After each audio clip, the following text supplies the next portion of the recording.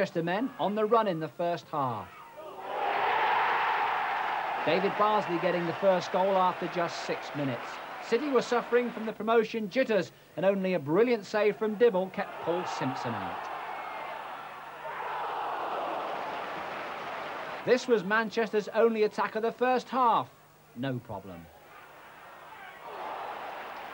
It was United who looked more like First Division material as Simpson had a heyday against his old team.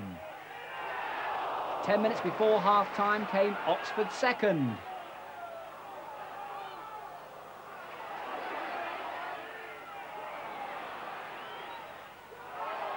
Simpson the scorer. It was all over, wasn't it?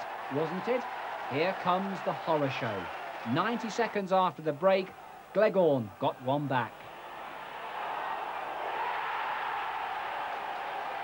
Another 90 seconds later, White got the equaliser.